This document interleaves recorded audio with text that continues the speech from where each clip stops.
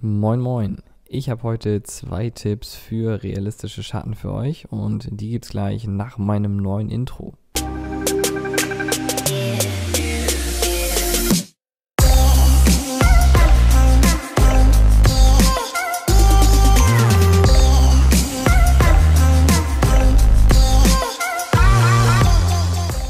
So, los geht's mit dem ersten Tipp und dabei geht es um den Kernschatten. Wer schon mal ein Tutorial von mir gesehen hat oder schon mal auf einem Workshop von mir war, der kennt vielleicht diesen Tipp schon. Es geht um den Kernschatten, wie gesagt. Und das ist ein Schatten, den wirklich sehr, sehr viele Leute vergessen, wenn sie Fotomontagen machen. Und dadurch wirkt es oftmals so, als ob ihre Objekte oder Menschen, was auch immer sie irgendwo einbauen wollen, schweben. Ich zeige euch einfach mal, wie das Bild hier ohne den Kernschatten aussehen würde. Ich gehe mal hier ein bisschen näher ran. Ich habe hier zwei Ebenen für den Schatten und ich blende jetzt mal den Kernschatten aus. So sieht das Ganze aus. Vielleicht ist euch gar nicht so viel aufgefallen, aber wenn ich jetzt herauszoome, habe ich das Gefühl, dass das Tretauto hier nicht richtig auf der Straße steht. Also vor allem in diesem Bereich hier. Achtet mal auf den Bereich hier unterhalb der Räder, da fällt es auf.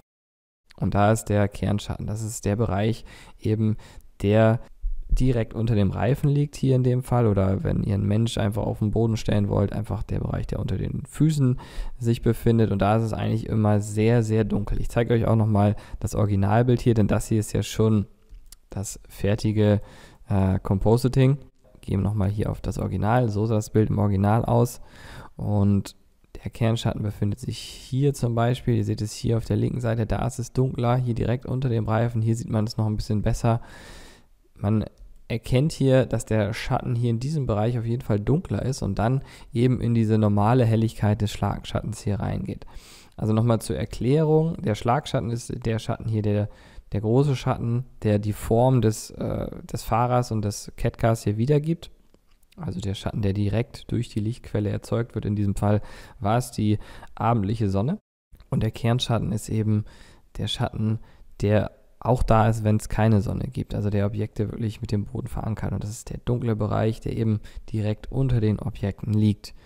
Und ja, den will ich jetzt auch noch einmal kurz einmalen, damit ihr seht, wie ich das mache.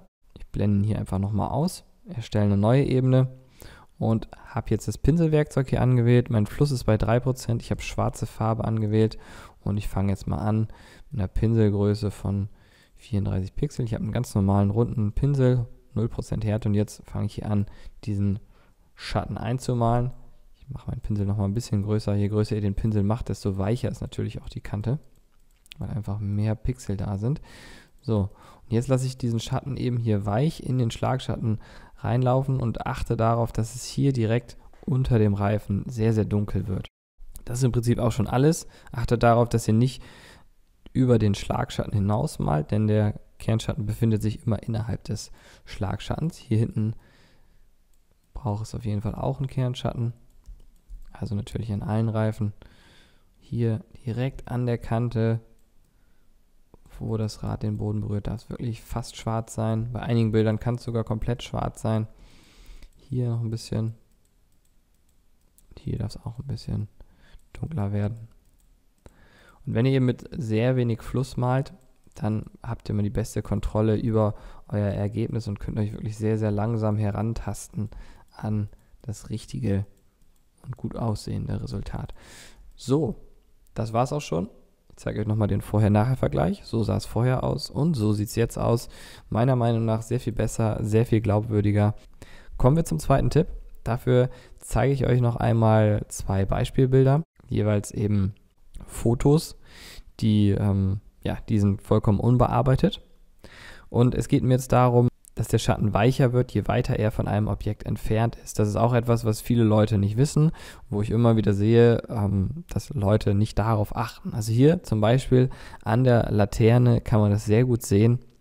Der Schatten hier direkt sehr nah bei der Laterne ist sehr, sehr scharf. Also wir haben hier eine sehr harte Schattenkante. Und je weiter wir uns wegbewegen von der Laterne, desto heller wird einerseits der Schatten, aber auch weicher eben. Die Kanten werden so richtig, ja, richtig weich. Und hier beim Schatten der Person sieht man das auch. Hier hinten der Schatten vom Kopf ist sehr, sehr weich. Und hier direkt am Fuß ist der Schatten ziemlich knackscharf. Nochmal ein zweites Beispiel. Hier nochmal eins aus dem Studio. Klar, der, dieser Lichtformer hier, diese Softbox, die macht sowieso ein etwas weicheres Licht als die Sonne. Das wird ja hier durch diese weißen Folien sehr stark abgesoftet, das Licht. Aber auch hier sieht man, der Schatten ist hier direkt am Objekt etwas härter als hier hinten. Da ist ja sehr, sehr weich. Und man sieht ganz klar, dass die Schattenkante weicher wird. Das nur als Beispiel, wie es in der Realität ist. Wie können wir das jetzt bei einem Bild nachahmen? Ich zeige euch das jetzt nochmal hier an dem Bild. Wenn wir uns hier nochmal das Original anschauen, dann sehen wir hier eigentlich ja, diesen Effekt nur sehr, sehr schwach. Also es wird hier ein bisschen weicher, aber da der Schatten hier nur zu kurz zu sehen ist, also wir müssten eigentlich noch weiter nach links schauen, äh, sieht man hier diesen Effekt nicht so stark. Aber der Schatten würde garantiert auch nach hier links hin weicher werden.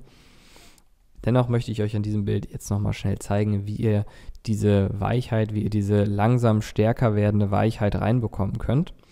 Und dafür nehme ich hier einmal die Ebene meines Schlagschattens. Übrigens, diesen Schatten hier habe ich einfach nur freigestellt. Also das ist der Originalschatten, den ihr auch hier seht. Den habe ich einfach mit dem Fahrtwerkzeug einmal umfahren und dann daraus äh, eine Auswahl gemacht, die mit Schwarz gefüllt und die dann hier unter das Ketka gelegt und äh, dann passt das perfekt. Also wenn ich die Möglichkeit habe, den Originalschatten zu nehmen, dann nehme ich auch den Originalschatten.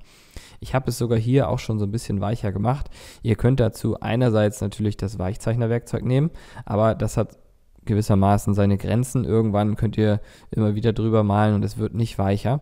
Also so, wenn es so ein bisschen weicher werden soll, dann reicht das äh, Weichzeichnerwerkzeug. Das ist manchmal der schnelle Weg.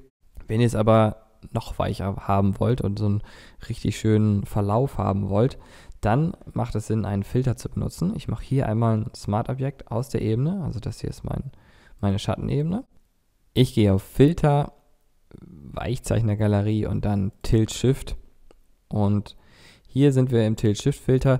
Übrigens, wenn ihr diese Linien hier nicht seht, also die Werkzeuge, um diesen Filter zu beeinflussen, dann müsst ihr einfach einmal Steuerung, H, Steuerung und H drücken und dann werdet ihr das hier sehen.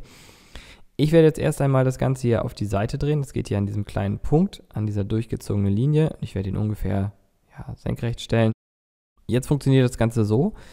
Der Punkt hier in der Mitte, der ist dafür da, anzuzeigen, wo die Schärfe liegt. Also in dem Bereich hier, wo der Punkt ist, bis jeweils zu den beiden durchgezogenen Linien nach links und rechts, ist es komplett scharf. Da ich jetzt hier auf der rechten Seite keine Unschärfe drin haben will, denn wir befinden uns ja hier immer noch sehr nah am Objekt, würde ich diese Linie hier einfach mal komplett aus dem Bild herausschieben. Uns interessiert ja nur die Unschärfe, die hier nach links entstehen soll.